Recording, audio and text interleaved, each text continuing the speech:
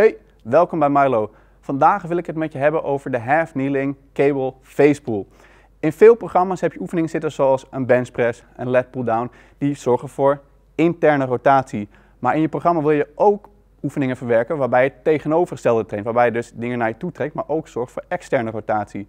Daarom ga ik vandaag met je de half kneeling uh, cable face pull doornemen. Eerst de setup.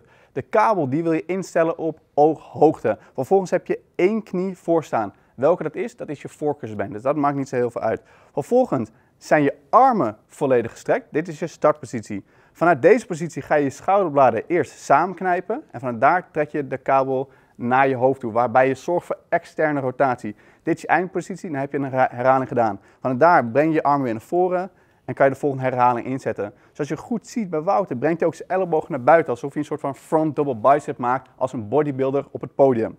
Mocht je de half facepull nou wat makkelijk vinden, wil ik je een progressie meegeven. En dat is de ring facepull. Uh, de uitdaging hier is uh, dat je meer rompstijfheid moet leveren, terwijl je dus de ringen naar je hoofd moet brengen. Terwijl je dat bij de half kneeling cable facepull niet had. Dus in je romp word je echt een stuk meer uitgedaagd. De voorwaarden daarentegen blijven precies hetzelfde. Je wilt een neutrale positie hebben van de romp, schouderbladen trek je aan en vervolgens breng je de ringen naar je hoofd en zorg je voor externe rotatie in het schoudergewricht. De facepull is dus een fantastische oefening om uh, de bovenrug te kunnen trainen, waarbij je dus focust op externe rotatie.